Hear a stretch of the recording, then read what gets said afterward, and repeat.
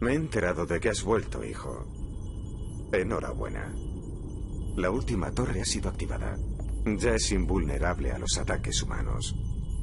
Dentro de ella nos aguardan los secretos del Tiberio. Y con ellos, el dominio del universo.